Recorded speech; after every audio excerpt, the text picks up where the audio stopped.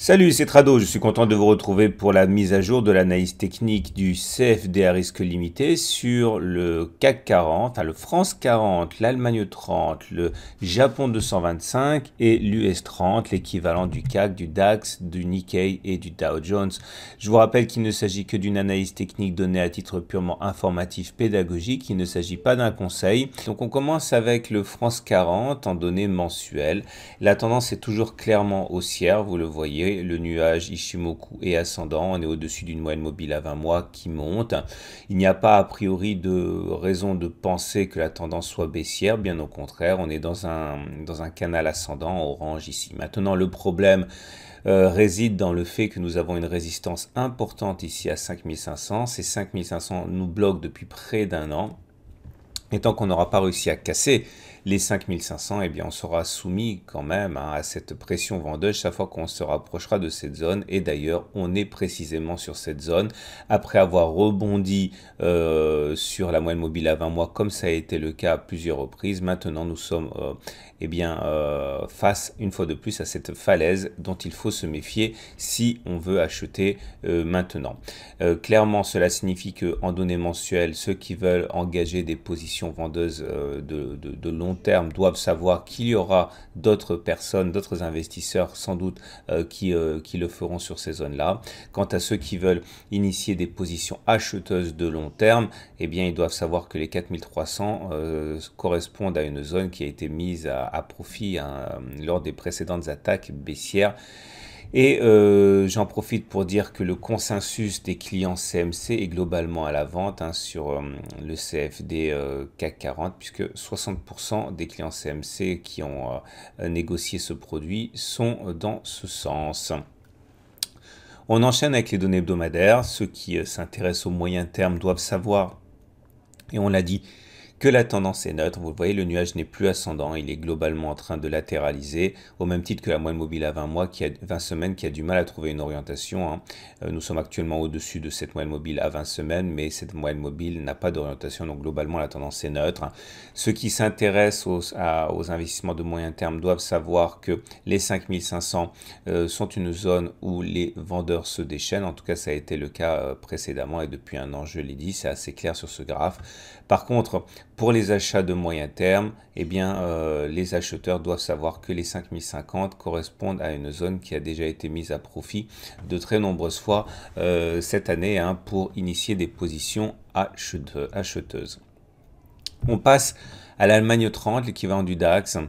On voit, en moyenne, euh, on voit, on voit, que la moyenne mobile à 20 mois est en train de lâcher. Maintenant, le mois n'est pas terminé. Hein. Cela fait 8 mois hein, quasiment que l'on travaille cette moyenne mobile à 20 mois sans véritablement réussir à, à la casser significativement à la baisse. Hein.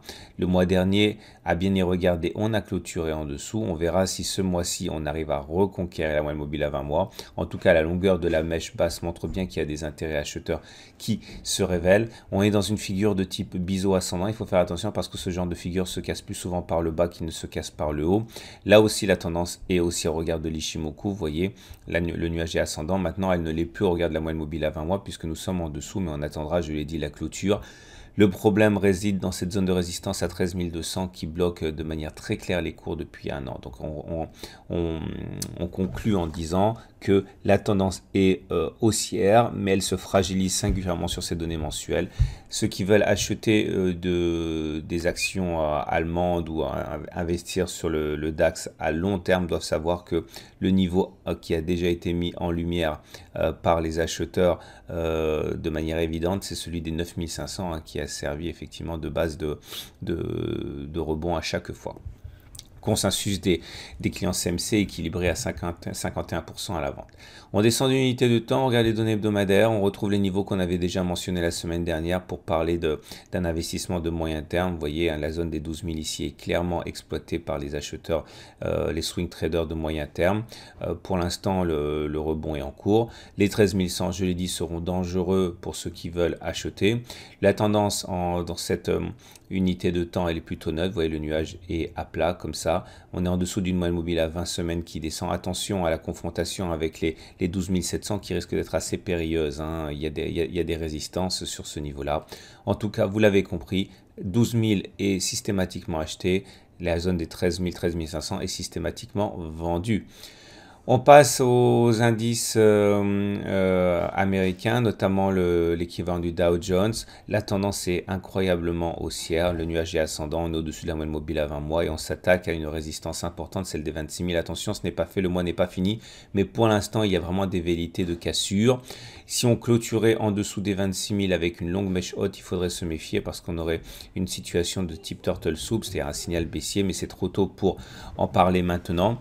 La tendance, elle est haussière, vous l'avez compris. Par contre, le consensus des clients CMC est largement à la vente à 72% sur cette tendance haussière.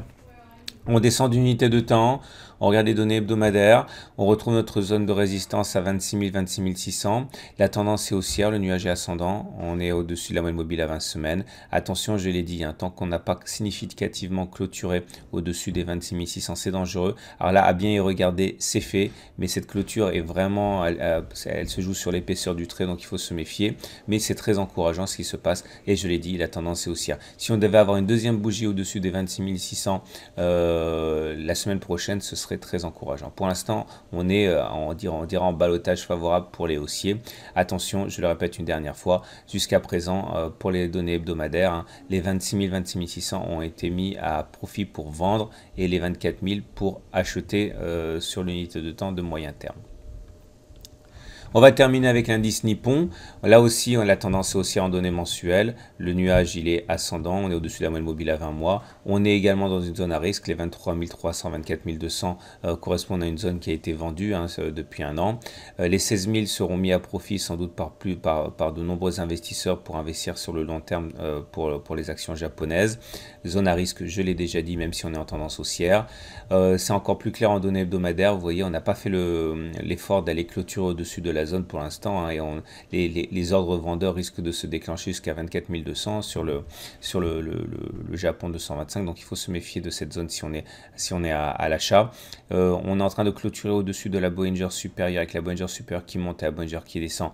Euh, c'est très encourageant pour la suite. Hein. Statistiquement, on devrait euh, avoir plus d'une chance sur deux normalement de clôturer au-dessus également la semaine prochaine, si ce n'est qu'on est sur une zone de résistance, donc il faut se méfier de cette statistique. Les 21 000 seront sans doute mis à profit par ceux qui investissent pour le moyen terme en données, euh, euh, donc euh, une bougie égale une semaine pour les, les, actions japonaises et les vendeurs sont sans doute en train de rentrer progressivement sur la zone dans laquelle nous sommes actuellement. Voilà ce qu'on pouvait dire pour les grands indices. Je vous souhaite une très bonne journée. Je vous dis à la semaine prochaine pour la mise à jour.